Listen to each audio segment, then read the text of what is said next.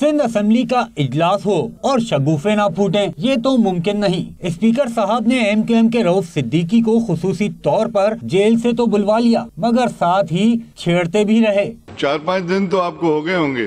ابھی تک آپ سیٹ نہیں ہوئے ہوں گے اندر۔ اطمینان کی وجہ سے میں بہت سیٹ ہوں کہ ظلم۔ کو اپنی آنکھوں سے دیکھا اور اب برت رہا ہوں۔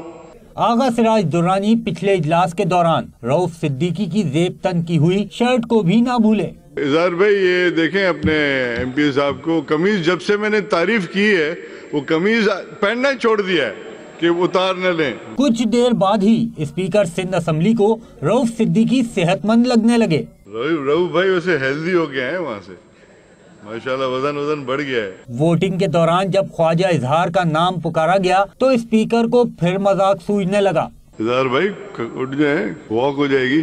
سائن قائم علی شاہ نے بھی اجلاس کے دوران سونے کی روایت برقرار رکھی اور جب خطاب کے لیے کھڑے ہوئے تو ہیڈ فون اتارنا بھول گئے۔ نثار کھوڑوں نے بھی خوب کہا کہ سائیں کا پی پی سے تعلق صدیوں پرانا ہے۔ سائی قائم علی شاہ صاحب کا پیپلز پارٹی کا ساتھ اب جیسے صدیوں پرانا ہے، سالوں پرانا ہے۔